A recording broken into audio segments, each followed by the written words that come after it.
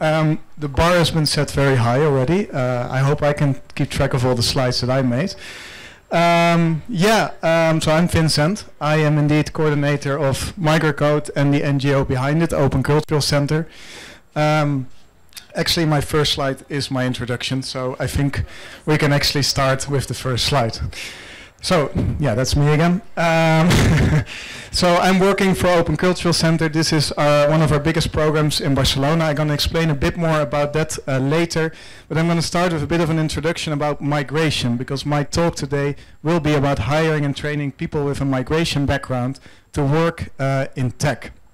So just a bit of an introduction into our program and into migration today. So I'm going to give you this context because it's important to understand. That was really quick. Uh, can you go one back? Okay.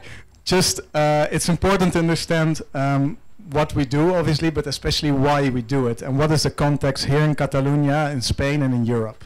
Yes, uh, go ahead for the next one now. This was supposed to be five, ten seconds. Cool. Did one back. Okay, now it should be fine. So just some context. Once someone arrives uh, in Europe, specifically in Spain or in Catalonia and Barcelona, they can apply for asylum. Now, there are different statuses that someone can get to get international protection. All of them give them certain rights, mainly also to work, which obviously is a very important right to have. Um, and it's very good these statuses are there. Unfortunately, many people do not get this status. Actually, we'll see in a bit that there are a lot of people not getting this status. They're often considered to be economic migrants, fortune hunters. Well, you know this narrative from media, unfortunately. Um, so people want to work, people want to contribute, um, but they simply cannot because they do not get the same rights as many, many other people, including uh, local people from Europe. Well, this narrative of a fortune hunter is often, well, actually almost always uh, not correct. Poverty and precarity are everywhere. No one leaves home unless home is the mouth of a shark. People do not leave everything behind um, to find fortune. They're looking for better opportunities. These are pictures from Peru, Salvador, Morocco, considered safe countries. Um, but you can imagine if you grow up there that you may want to find better opportunities here in Europe to provide for yourself and your families. Just some statistics. In 2021, 18 million people that were forcibly, forcibly uh, displaced around the world.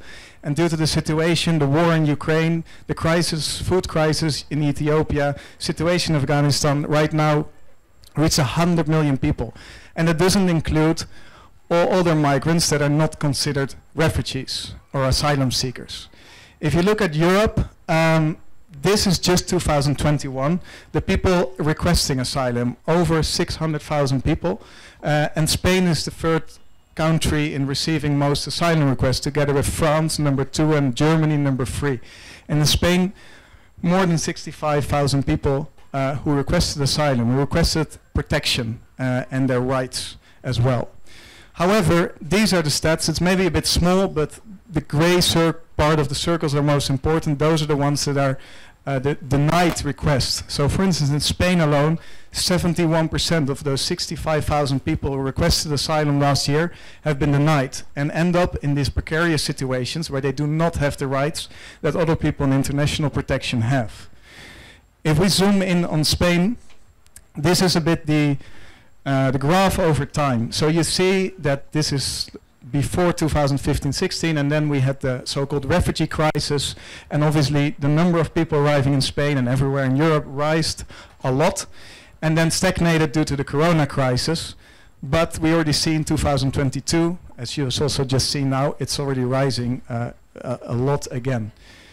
If you zoom in on uh, where people are coming from. It's a lot of people coming from Latin America due to the situations in many countries there, especially Venezuela and Colombia. Also, there's a big link with the historical ties between Spain and Latin American countries. But do not underestimate the number of people coming from other countries as well. They look small, but there are also thousands of people finding international protection in Spain.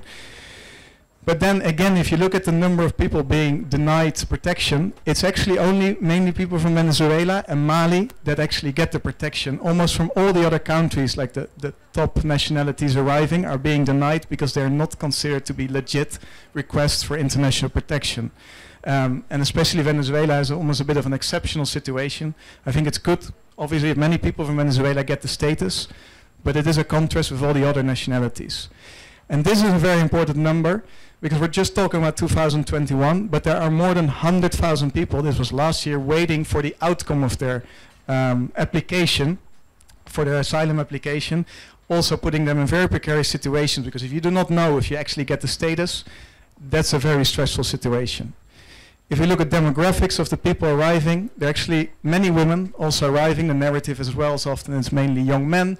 That's not the case. There are many women also coming to Spain from everywhere in the world. There are a lot of young people, but also people of a slightly older age group. I won't say old, uh, will offend a lot of people. Um, but so there are young, motivated people. There are people also that are slightly older and bringing a lot of experience and skills actually from their home countries. And then before I go into microcode, what we do, we look a bit at where people actually request asylum, because this is an important detail. You see the darker green is where most asylum requests come in. It's Madrid, especially in Barcelona. And that's also because a lot of Latin American people come by plane on a tourist visa and then request asylum. And this is why I'm zooming in now on Barcelona, because this is the reason why we started a tech academy for refugees and migrants. In the philosophy of Mandela, who said education is the most powerful weapon which you can use to change the world. And we strongly believe that. I've, we think we can really help a lot of people if we teach them new skills and also connect them to opportunities related to these skills. So that's what we basically do at Microcode Barcelona, uh, free education. So how do we actually do that? We offer free education. So we have different IT courses with our biggest course, which is actually a web development course of eight months. We offer labor integration services. So we make the connection with the IT sector and recruiters. We focus a lot on community, bringing people together, local people, through volunteering with newcomers. And we offer a lot of additional support in terms of mental health support, uh, mentoring, and also legal advice, which is often necessary. Just a review of our impact. Um, we had over 200 students since we started in 2019. Ananda and Ali are just two examples of the 154 graduates who actually found an opportunity, which is right now 83 people out of those 154 graduates. Again, showing how many people want to make use of these opportunities and find a work opportunity afterwards. So why do companies do this? I may repeat a bit what will be said uh, more often today, but they can choose from a bigger talent pool uh, we bring a lot of new talents. It's obviously very positive for any company to actually actually hire diverse. Their products will be better and more innovative, more creative. Um, it's proven that companies, uh, the employees in the companies are happier, more productive, and stay longer in the company in diverse companies. And you will get more diverse skills because you will get more diverse backgrounds of all the people.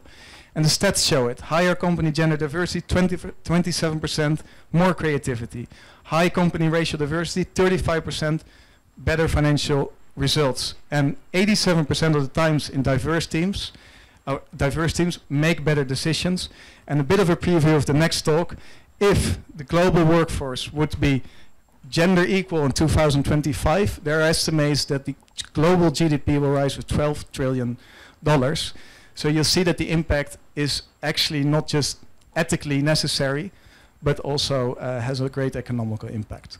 And that's why we're doing microcode. Um, if you want to know more, go to our website. Um, we have a lot of talent to offer. I guess there are some recruiters here tonight, um, and we really want to promote that as well. And I'm here tonight, so if you think, let's talk to this uh, guy from Microcode, I'm here. Thank you very much.